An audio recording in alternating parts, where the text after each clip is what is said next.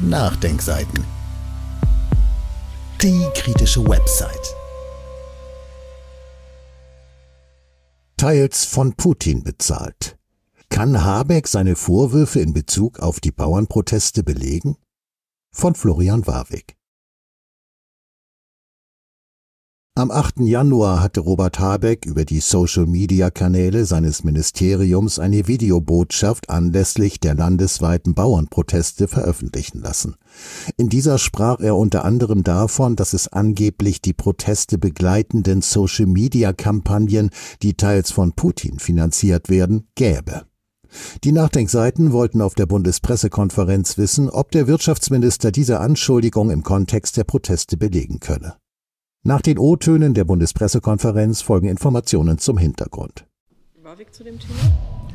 Ähm, Herr Habeck hat am 8. Januar ein Videostatement zu den Bauernprotesten veröffentlicht. Äh, in dem verweist er in dem Kontext der Bauernproteste auf angeblich, ich zitiere, Social-Media-Kampagnen, die teils von Putin finanziert werden. Vor diesem Hintergrund würde mich interessieren, auf welche konkreten Kampagnen bezieht er sich und welche Belege kann er vorlegen, dass diese tatsächlich von Putin finanziert werden? Ja, hier würde ich gerne ähm, auf die Worte des Ministers verweisen und die auch so für sich stehen lassen. Eine Nachfrage? Ähm, jetzt gab es von verschiedensten Bauernprotesten Kritik an dieser zitierten Äußerung von Habeck mit Verweis darauf, dass diese darauf ziele, die Bauernproteste zu delegitimieren, mit dem Verweis auf Putin und die angebliche Finanzierung. Da würde mich interessieren, war das tatsächlich die Absicht des Wirtschaftsministers? Und wenn nein, was war die Intention, Putin und diese Finanzierung sprachlich ins Spiel zu bringen bei einer Äußerung bezüglich der Bauernproteste? Also der Minister hat ja immer deutlich gemacht in, in diesem Video und auch ähm, schon vorher, wenn es um Proteste ging, dass legitimer Protest in der, in der Demokratie natürlich immer möglich ist und immer möglich sein muss, aber dass legitimer Protest eben dort endet, wo ähm, Gewalt ins Spiel kommt, wo Persönlichkeitsrechte verletzt werden. Ähm, das, das, hat er hier gesagt und hat es auch vorher schon betont. Insofern geht es nicht darum, ähm, Proteste generell zu delegitimieren. Und ähm, der Verweis, den Sie ihm genannt hatten, das war ein allgemeiner Verweis auf die allgemeine sozusagen Desinformationslage, ähm, die wir in Deutschland auch anderswo zur Kenntnis nehmen.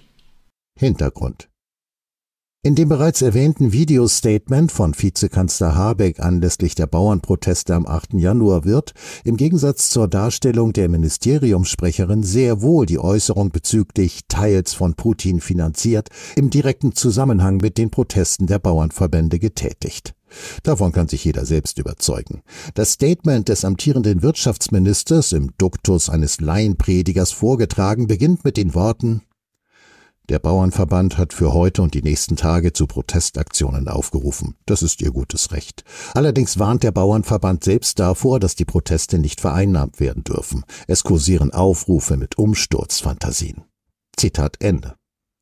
Anschließend spricht er von einer Entgrenzung der freien Meinungsäußerung und geht dann erstmal recht sachlich auf die wirtschaftliche Situation der Bauern ein, nur um mit diesen Ausführungen überzuleiten auf die Aussage, unsere liberale Demokratie ist ein Schatz, den wir verteidigen müssen.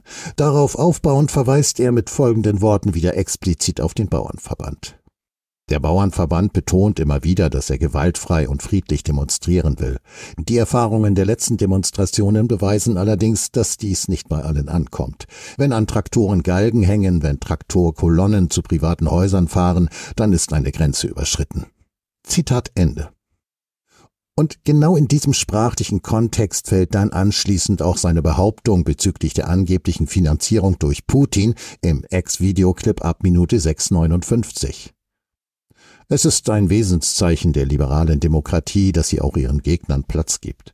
Aber unser Grundgesetz setzt Verfassungsfeinden Grenzen, Social-Media-Kampagnen, die teils von Putin bezahlt werden, in denen man sich als Opfer inszeniert, um Gewalt gegen Personen und Dinge zu rechtfertigen. Zitat Ende. Angesichts der von Habeck in seiner Ansprache selbst vorgenommenen Kontextualisierung ist es nicht überzeugend, wenn seine Sprecherin jetzt erklärt, der Verweis auf Putin-Finanzierung sei ganz allgemein gewesen und bezöge sich gar nicht auf die Proteste der Bauern. Erinnern wir uns an die Chronologie des Habeckschen Statements.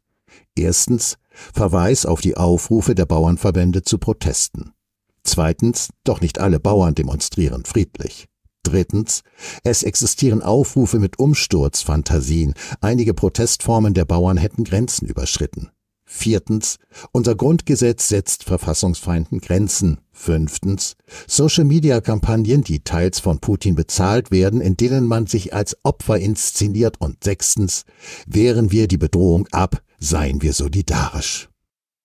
Außer Habeck und seiner PR-Entourage im Wirtschaftsministerium wird es wohl nur wenige Zuschauer, Hörer seiner Ansprache geben, die hier nicht den Versuch sehen, rhetorisch eine Verbindung zwischen Bauernprotesten der teils von Putin finanziert Referenz sowie Verfassungsfeinden herzustellen.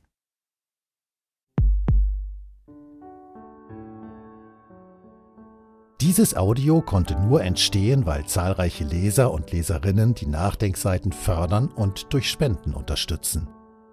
Wenn Sie auch etwas tun wollen, klicken Sie einfach den entsprechenden Button auf unserer Website an.